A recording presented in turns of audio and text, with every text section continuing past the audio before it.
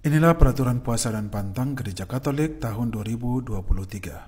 Mengacu kepada ketentuan pastoral Keuskupan Regu Jawa tahun 2017 pasal 138 nomor 2B dalam kaitannya dengan Kanon 1249 sampai 1253 KHK 1983 tentang Hari Tobat, peraturan puasa dan pantang ditetapkan sebagai berikut.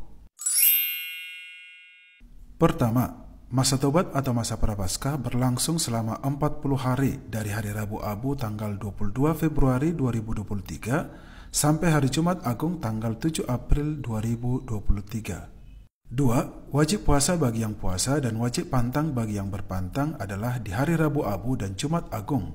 Sementara wajib pantang baik bagi yang puasa maupun yang berpantang di setiap hari Jumat selama masa prapaskah. Ketiga, orang Katolik yang wajib berpuasa ialah semua orang Katolik yang berumur 18 tahun sampai umur awal tahun ke-60. Yang keempat, orang Katolik yang wajib berpantang ialah semua orang Katolik yang berumur genap 14 tahun ke atas. Kelima, puasa dalam arti yuridis berarti makan kenyang hanya sekali sehari. Itu berarti orang Katolik yang berpuasa boleh makan tiga kali sehari tetapi makan kenyangnya hanya satu kali saja. Misalnya, makan pagi dan makan malam sedikit tapi makan siang kenyang. Yang keenam, pantang dalam arti yuridis berarti tidak makan daging atau makanan lain yang sangat disukai. Itu berarti orang Katolik yang berpantang boleh makan tiga kali sehari, tetapi tidak makan makanan yang disukai, misalnya selama sehari pantang gula atau garam.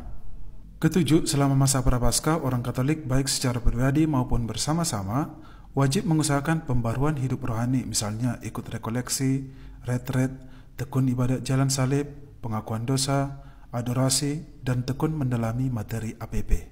Kedelapan, selama masa prapaskah, orang Katolik baik secara pribadi maupun bersama-sama wajib melakukan karya-karya karitatif, misalnya ikut karya sosial, donor darah, bersedekah, membantu orang miskin terlantar, dan lain sebagainya.